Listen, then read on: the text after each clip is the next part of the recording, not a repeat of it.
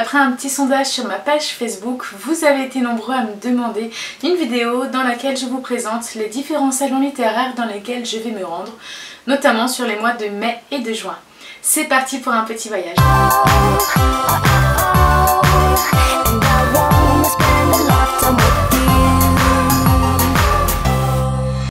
Salut tout le monde, c'est Hélène et je suis ravie de vous retrouver pour une nouvelle vidéo dans laquelle je vais vous parler des trois salons dans lesquels je vais me rendre. Le samedi 30 avril, vous me trouverez au Salon du Livre de Genève qui va fêter, je crois, sa 30e édition. Je serai en compagnie de Saefiel, euh, du blog des petits mots de Saefiel. Si vous ne la connaissez pas, je vous mets ses liens en barre d'infos. Elle vient notamment d'ouvrir sa chaîne Booktube et je vous recommande d'aller voir ce qu'elle fait puisque c'est une personne très sympathique et qui met beaucoup de cœur à l'ouvrage. Je pense que vraiment mon envie première, c'est d'aller rencontrer mes copines de Suisse que je n'ai jamais vues jusqu'à présent. C'est vraiment une belle occasion pour les voir.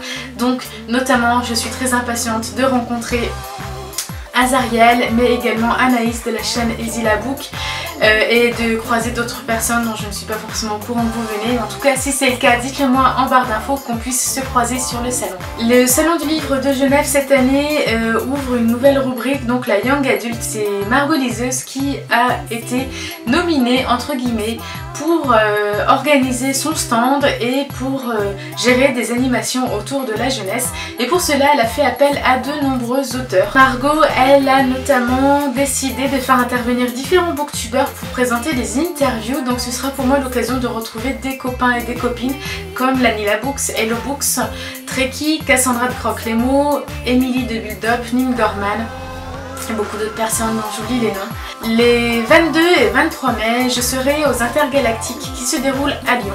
Alors je vous avoue que pour le coup, je n'ai pas trop regardé le programme puisque étant moi-même de Lyon, c'est un salon dans lequel je peux me rendre avec beaucoup de facilité. Je serai certainement accompagnée de Virginie, de donc Virginie Folie, anciennement UMM27. J'espère qu'elle va pouvoir venir, elle était assez intéressée et euh, nous irons certainement ensemble si c'est possible. Sinon, Petit aparté, si vous êtes de la région Rhône-Alpes, j'ai ouvert une page, un groupe sur Facebook qui s'appelle euh, la team Rhône-Alpes de blogueurs et de booktubers. Je vous mettrai le lien en barre d'infos. N'hésitez pas à nous rejoindre si cela vous donne envie. J'ai créé ce groupe dans le but d'organiser des rencontres et de se retrouver autour d'événements littéraires. Donc voilà, c'est vraiment ouvert à tout le monde si vous êtes de Lyon mais aussi d'autres départements d'à côté, de Saint-Etienne, de Grenoble, de Mâcon euh, ou d'Annecy. N'hésitez pas à vous, inscrire, à ce groupe. Enfin, du 27 au 29 mai, je me rendrai aux Imaginales.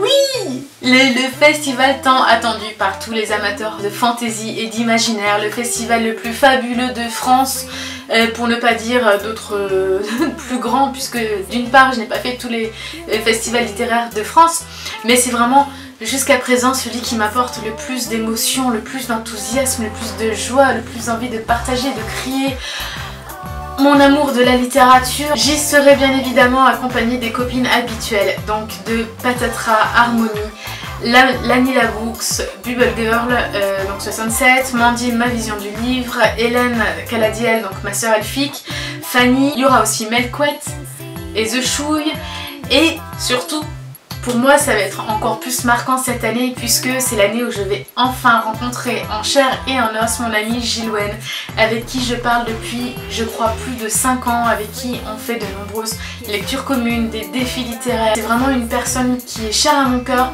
autant que lorsque je vous parle de mon ami Coco. C'est deux personnes que j'ai rencontrées grâce à la blogosphère et avec qui j'ai créé de vraies amitiés. Et là, je vais enfin rencontrer Gilwen et je suis vraiment hyper impatiente de la voir et de graver des moments inoubliables avec elle. Alors ça peut paraître très cucu ce que je vous dis, mais c'est juste mon enthousiasme et voilà la hâte de, la rencontrer et de vivre les Imaginales ensemble. Les Imaginales c'est vraiment the place to be. C'est le lieu où tous les lecteurs, les blogueurs, les booktubers se retrouvent, où on peut prendre le temps de discuter avec les auteurs, de boire éventuellement un coup avec eux, euh, de les écouter parler de leur métier, de leurs ouvrages, de thématiques qui tournent autour de l'imaginaire. C'est vraiment un festival qui nous donne des souvenirs incroyables. Alors avant de terminer cette vidéo, puisqu'on a vu les trois salons principaux où je vais me rendre, j'ai une question à vous poser. Euh, vous-même, est-ce que vous aimez les salons? Et si oui, quels sont vos préférés? Et est-ce que vous comptez vous rendre à l'un des trois que je vous ai présentés?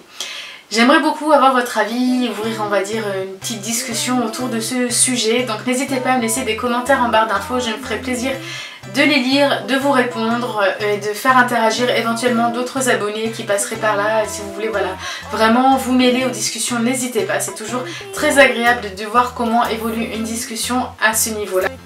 Voilà, on a terminé cette vidéo, j'espère qu'elle vous a plu et que voilà, je vous ai donné également envie d'aller participer à des salons si vous ne connaissez pas encore, si vous n'avez pas cette chance ou si vous ne l'avez pas encore saisi.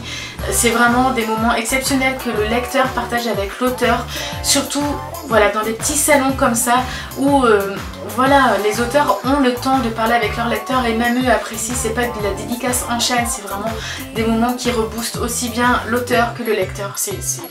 J'arrête de parler parce que je vais vous faire une vidéo trop longue et on va dériver du sujet. Donc euh, je vous laisse, je vous souhaite de très belles lectures et je vous dis à bientôt.